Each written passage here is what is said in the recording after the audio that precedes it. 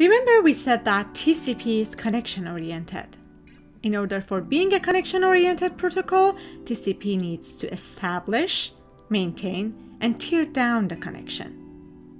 For connection establishment, which is the first phase, the sender and receiver should agree to have a connection.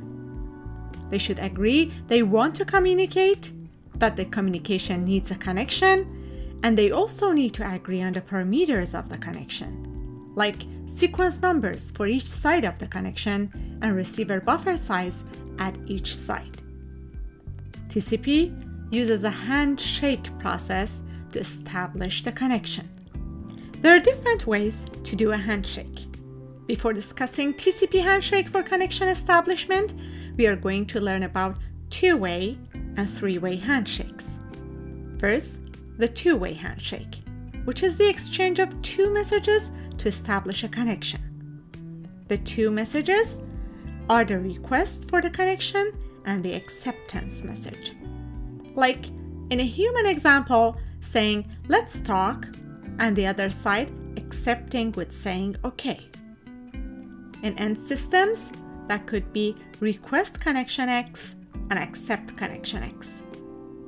But the question is would a two way handshake work well in the network with variable delays, retransmissions, out of order messages, and generally with two sides of the communication not being fully aware of the state of the other side? To answer this, let's examine a few scenarios.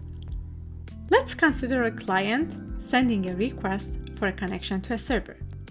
The server accepts the connection request. So we want to find out if the connection is always established and the task is done and all is well. What if, before the connection acknowledgement reaches the client, the request times out and the client sends another request? While the first connection is established and complete, the second request yields a dangling half open connection, which is connected at the server side but has no client. That is a failure. In a second scenario, while the connection is established and in progress, the same delayed retransmit of the initial request for the same connection reaches the server and establishes a half open connection. Even worse, the data retransmit from the client for the initial communication could now be considered data for the second dangling connection. That is also a failure. So, two way handshake is inefficient given the delays, retransmissions, and complexities of an unreliable underlying network channel. Now, the question is how do we solve the problems we saw with the two way handshake given the complexities introduced by the communication network? An acceptable solution, which is also employed by TCP, is a three way handshake. In three way handshake, both sides should acknowledge the connection. This means the original requester of the connection should also confirm the receipt of acknowledgement and final establishment of the connection.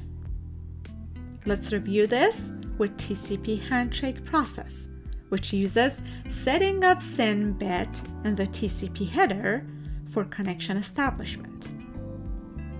The client chooses a sequence number to start, sets the segment SYN bit to 1 and sends the segment. At this stage, the client is at the SYN sent state. The server receives this request, sets the X sequence number to X plus 1 according to sequence number X announced by the client, and chooses sequence number Y for its side of the byte stream.